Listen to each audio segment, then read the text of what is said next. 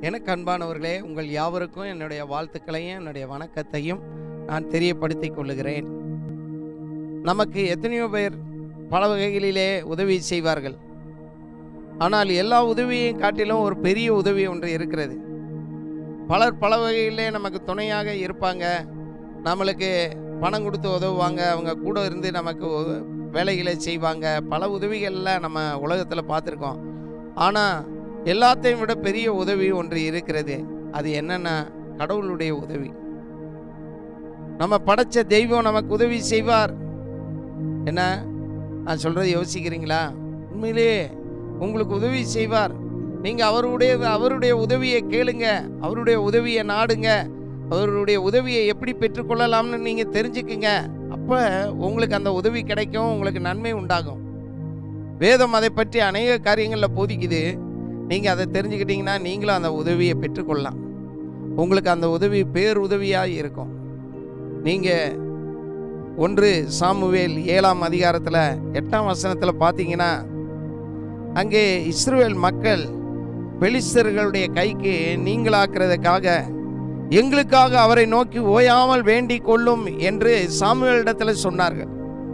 அப்போ சாமுவேல் அந்த பெலிஸ்தர்கள் யுத்தம் பண்ணுகிற நேரத்தில் இஸ்ரேல் மக்களுக்கு உதவி செய்யும்படியாய் கத்தரிடத்தில் உதவி வரும்படியாய் சாமுவேல் வந்து பலி செலுத்தி கத்தரை நோக்கி வேண்டி கொண்டான். அந்த பகுதியில் பார்க்கிறோம் கத்தர் அவனுக்கு மறு உத்தரவு மறுமொழி அருளி செய்தார்.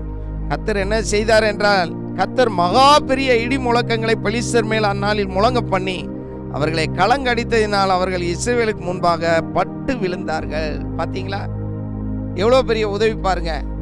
இடி முழக்க அங்கே அடிக்க வச்சு ஆண்டவர் அவங்களுக்கு உதவி செய்தார். அதனால் நிறைய பேர் பட்டு விழுந்தாங்க. பெலிஸ்தருடைய அந்த யுத்தத்தில் இஸ்ரேல் மக்கள் வெற்றி பெற்றார்கள். காரணம் என்ன? கர்த்தருடைய உதவி. சாமியல்கிட்ட ஜெபம் பண்ண உதவி கேட்டாங்க. சாமியல் ஜெபம் பண்ணி உதவி செய்தார். ஜெபத்தை கேட்டு கர்த்தர் வந்து அவங்களுக்காக அற்புதங்களை செய்தார். நீங்களும் ஜெபம் பண்ணுங்க. நீங்களும் தேவனுடைய ஊழியக்காரர்கிட்ட சொல்லுங்கள் அவங்க உங்களுக்காக ஜெபம் பண்ணுவாங்க. நீங்களும் ஜெபம் பண்ணுங்க. ஆண்டவர்கிட்ட இருந்து உதவி வரும்.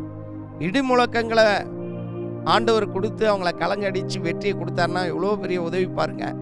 மனுஷ உதவியை விட தேவனுடைய உதவி பெருசாக இருக்கும் புதுசாக இருக்கும் அதிசயமாக இருக்கும்.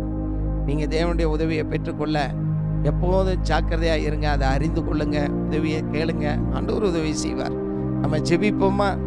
இறக்கம் நிறைந்த ஆண்டவரே சர்வ வல்லவரே உலகத்தில் பல பிரச்சனைகள் பல எதிர்ப்புகள் பல போராட்டங்களில் வாழ்ந்து கொண்டிருக்கிற இந்த பாடுகளின் மத்தியில் உங்களுடைய உதவியை கேட்கும்போது அவரவர்களுக்கு என்னென்ன காரியங்களிலே அதிசயம் செய்ய முடியுமோ அந்த அதிசயங்களை செய்து ஒவ்வொருவருக்கும் உதவி செய்து ஒவ்வொருவரும் வெட்கப்பட்டு போகாதபடி வெற்றி பெற உதவி செய்யும். உம்முடைய இறக்கம் ஒவ்வொருவருக்கும் இருக்கட்டும். ஏசு கிறிஸ்துவின் நாமத்தில் ஜெபம் பண்ணுகிறோம் எங்கள் நல்ல பிதாவே. ஆமேன். கர்த்தர் உங்களை ஆசீர்விப்பார். நீங்கள் ஆசீர்வதிக்கப்பட்டவர்கள் ஆசீர்வாதமாகவே இருப்பீர்கள்.